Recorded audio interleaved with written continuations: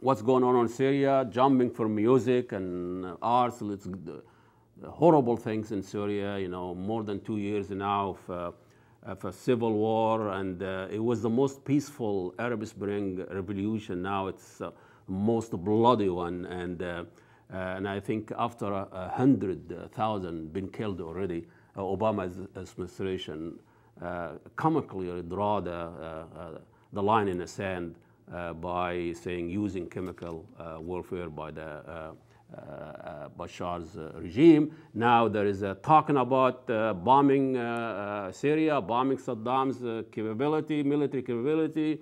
It was almost and threatening. Now back to the Congress debating. America is debating uh, should we go in? Should we bomb uh, Syria or not? Uh, the majority of people are against the bombing. Only 30% support one of the few wars where the minority really support the war. And um, uh, so I had a chance to talk to a Syrian artist. She lives in uh, uh, Los Angeles. As an artist, you know, what it, what it be like to be an artist here, away from home, that you see is just being destroyed and uh, vanished. And, um, and I really had this conversation with her on Skype. Uh, uh, we didn't have a good visual, so you might not see her, but you can see her art. So we'll finish this with um, a conversation with the Syrian artist uh, Fadia Afashe, and uh, we'll see you next week. Salaam alaikum, and God bless you all.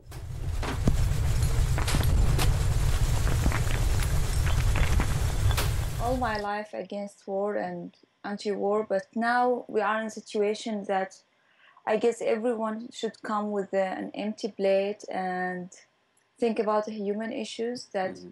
we have unfortunately no, other options because the situation really really bad and if we waited more the situation will be a disaster so obviously uh, this military and all this uh, international intervention of Iranian, Russian, uh, Chinese, and uh, Hezbollah in Syria. Unfor- unfortunately, uh, we need another intervention to stop this intervention, and this is how ironic is that. Yeah. But not we we ask Obama not to uh, just go for punishment for Assad. That this is it because the punishment will be not just for Assad, because Assad he has a hostage, and the hostage is Syrian people. The the Americans uh, usually don't uh, don't have uh, a clear uh, you know uh, vision or mission or goal of uh, interfering, and usually they are seeking you know their self-interest and uh, it end up uh, the people who are trying to help are the victims like in iraq and afghanistan and all that. Unfortunately this is true so far because we have an example. As you said iraq is a big horrible example about the policy of the us but hopefully hopefully i don't know when uh, you know obama gets elected and we were having a hope that the vision will be different that something will come out different from the foreign policy of the US. And now, day by day, we are losing hope. You think that uh, just bombing and not boots on the ground? Actually, because as I told you, the experience with the boots of the ground is not good so yeah. far. Mm-hmm. And uh, to be honest with you, we were asking the US long time ago that please, we just need no-fly zone, and we will do the other because we know you know our regime is not really powerful. The only thing uh, our regime is killing us because he has the sky. He sees the sky.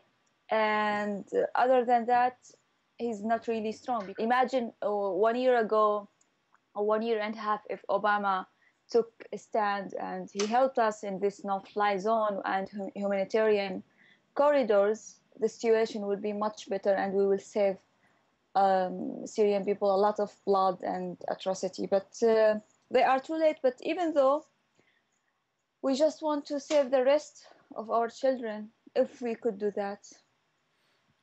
Um, how do people? Uh, you are you live in, uh, in California, Los Angeles. So how, mm-hmm. how's it like there? What, what do people tell you? What kind of uh, looks they give you? I mean uh, So how are you managing there, and uh, what what question they ask you?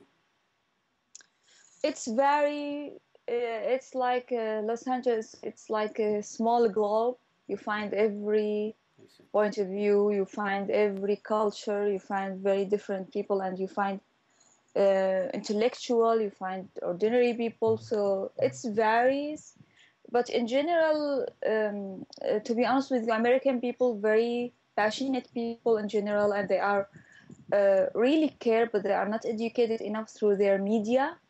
So they know, like for example, about the war, the the uh, service image.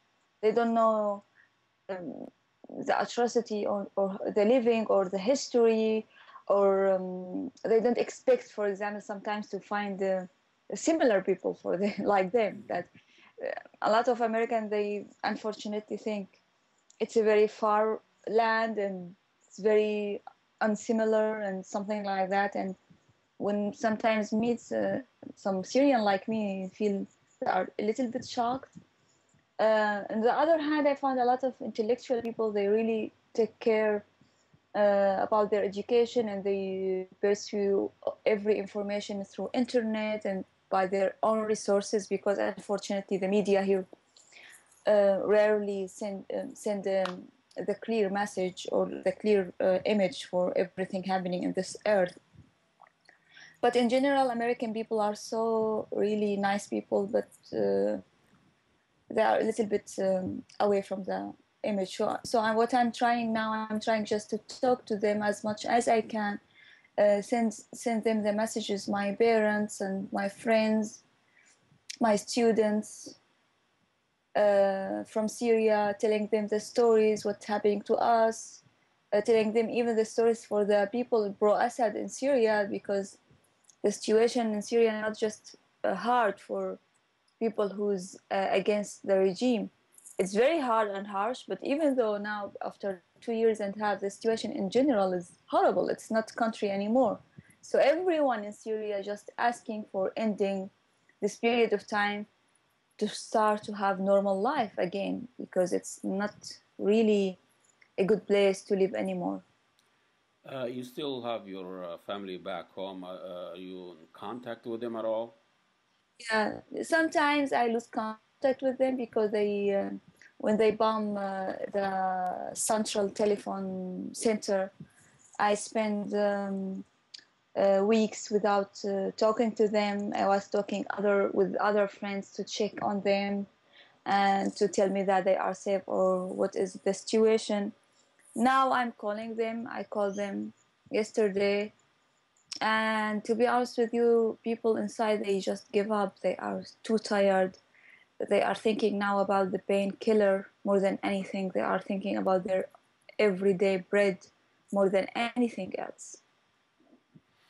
As an artist who's living now uh, far away and um, uh, can't really interfere in, in, the conflict over there in in a, in a more direct and meaningful way, how, how do you how do you deal with that? How that uh, affects your uh, work? How... Yeah, I feel, to be honest, very, very hopeless. I feel uh, it's a everything have changed me. Everything I lost faith in everything in this globe. I don't have a faith anymore because you cannot just accept by your heart and your mind what's happening over there and accept that we are in 2013 and we have all this connection and all this civilization between quotation and we have this middle ages photos and images and way of torture and i just lost faith in everything even everything. I i'm not i don't know if i will one day be uh, again a normal person or or not um, i am full of anger anger uh, i am very angry and uh, um, even now I'm not able to be honest with you to paint anything because I feel no point of that. I feel just what is the the reason of even being exist. I feel so hopeless. Well, that's a uh, you know a very peculiar uh, situation to be as an artist, and uh, I think uh, your message and your art is uh, very powerful and uh, has a very uh, lasting and uh, message. Um, I, go ahead. I was having this feeling. sorry, I was having this feeling when everything started over in Syria. Now, to be honest with you, I I just feel it's all about money and power and interest. Yeah and maybe we have effects but it's like the fly butterfly effect it's so small. Mm-hmm. and i don't know if you really will see the effects of the war i am doing what i can but not with the same faith i used to have. I am doing this not just to prevent myself from regretting not to doing anything and to be passive. I am going on talking to people sometimes uh, trying to have a discussion panel or anything to educate people. But to be honest with you, not with, with not the same heart. Mm-hmm. My heart is broken. I am, but I am doing th- that just because I feel this is my duty, and probably with this small, small hope, sometimes I will create an effect. Sometimes, but to be honest with you, I'm doing th- that just to to express that this is my duty. I don't want in the future to regret not doing anything or to watching because I have to do it. But I am tired. I am very tired and very, you know, when it's personal, uh, it's too hard. Well, Fadia Afashe is a Syrian artist who lives in uh, Los Angeles, California, talking about the situation in Syria and uh, we wish you uh, the best and uh, I think uh, we cannot uh, lose hope. And uh, I mean the Syrian revolution was the most peaceful and the longest peaceful revolution. And just turning to be a bloody and the bloodiest one is just beyond me. So Fadia, good luck. And we wish you well. And and I think there must be some hope somewhere and uh, keep painting. Oh, Thank you so much. You know, um, everything is depends on everyone in this earth. Everyone, if we we do our part, probably will create hope. If we are passive, there is no hope, unfortunately.